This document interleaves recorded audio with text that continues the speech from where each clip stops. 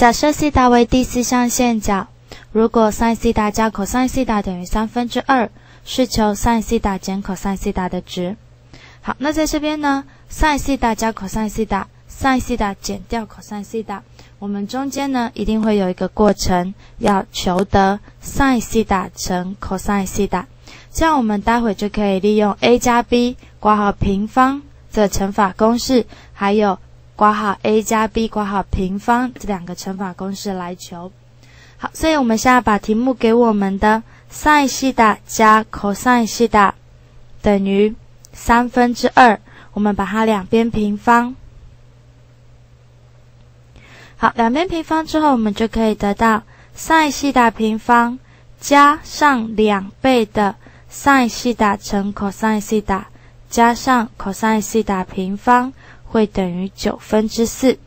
好，那 sin 西塔平方加 cos 西塔平方刚好等于一，所以我们就可以知道啦，两倍的 sin 西塔乘 cos 西塔会等于九分之四减一。我们把这个一直接移项过来，所以就是九分之负五。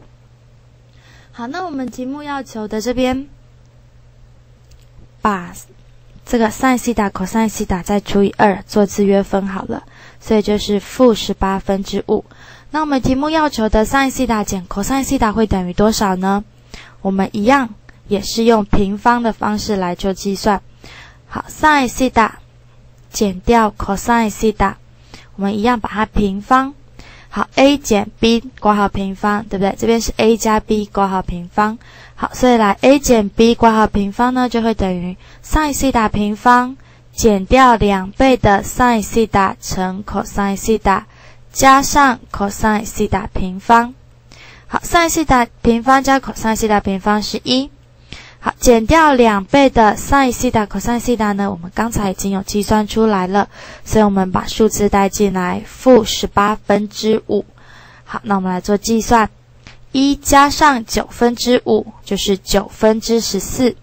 那么我们要求的是 sin 西塔减 cos 西塔，所以我们必须要开根号。好，sin 西塔减 cos 西塔就会等于正负三分之根号十四。